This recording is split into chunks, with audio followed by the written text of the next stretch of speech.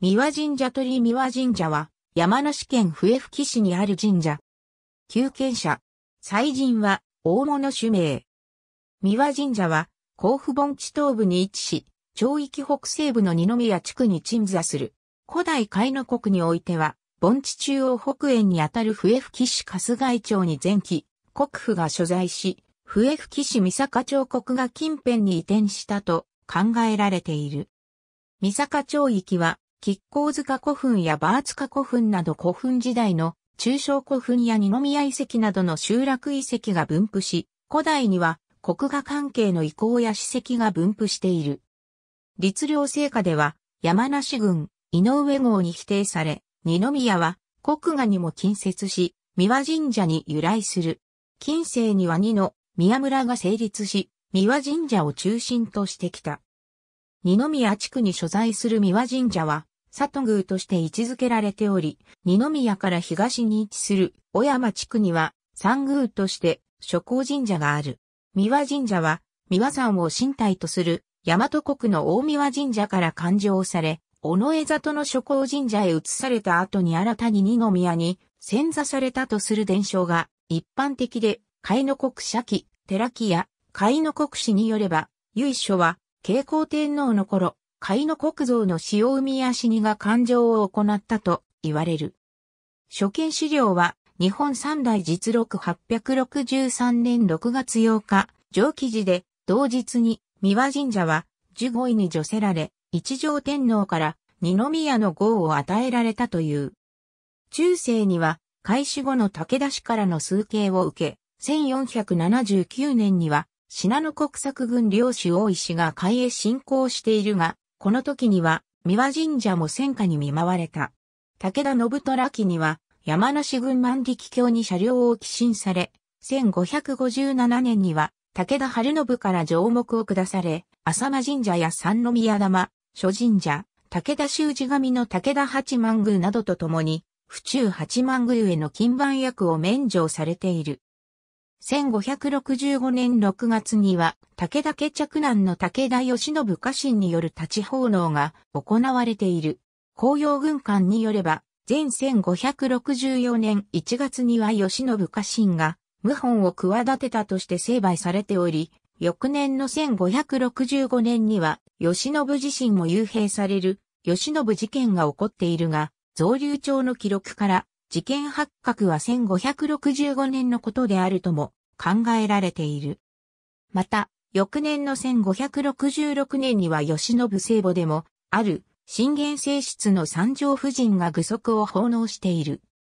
1573年9月11日には、家督相続直後の武田勝頼が、武運長級の祈祷を命じており、1579年には、勝頼から金星を下されている。武田氏滅亡後は、1582年には、織田信長と織田信忠から金星を下され、翌年の1583年には徳川家康から車両安堵を受け、1589年に稲中寺の一田県地で車両が確定する。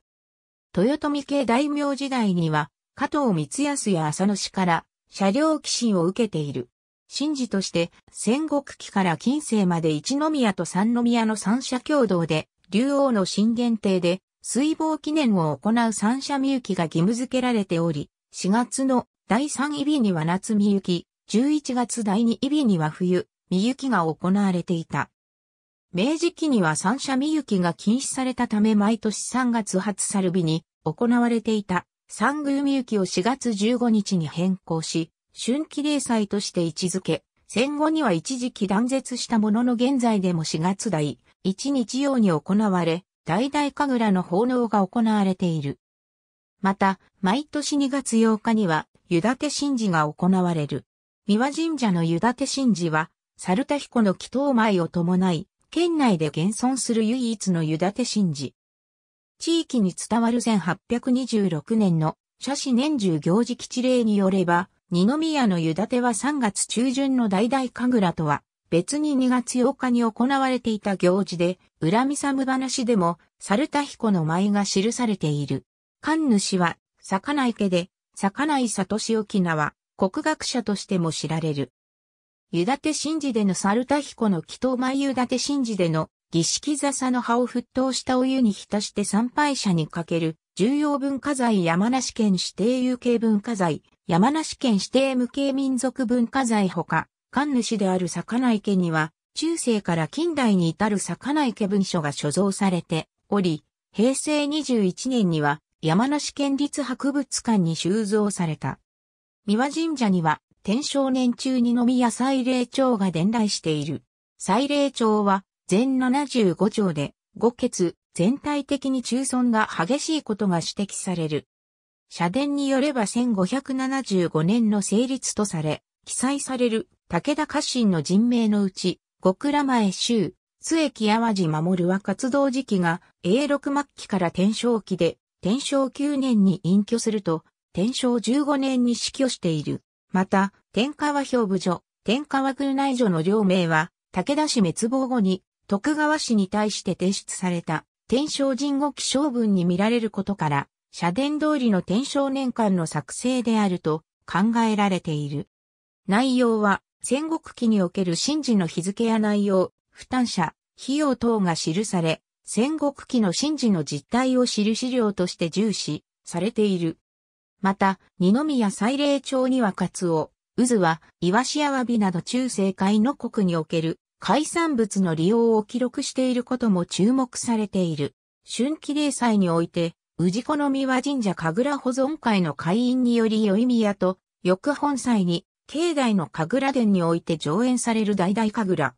演目は素面、鬼面、一人舞や数人による、舞、物語性の有無など多様な舞があり、正常正常の舞、建国の舞、夜柱の舞、天下りの舞、四弓の舞、豪舞、剣羅の舞、保存神の舞、国向きの舞、魚釣りの舞、剣の舞、四剣の舞、宝玉木の舞、主家の舞、オロチの舞、悪病所の舞、幸い替えの舞、天岩戸の舞、終始の舞の20種が現存している。当日午前中は少女たちによる浦安の舞が本殿で行われるとみこしに御霊が移され、尾上に向けて出発する。神楽は、みこしが諸行神社で神事を終えて帰還するまで続けられる。地域に伝わる、東神楽最高、新忠氏によれば、三輪神社の神楽は、江戸中期の1754年に、本殿造営が行われた際に再興されたもので、あるという、三輪神社文書に含まれる、神楽25番次第は、江戸後期の神楽次第であると考えられており、遺跡への古い次第を多く含み、シラフの舞が多いなど、現在の演目とは隔たりがある。ありがとうございます。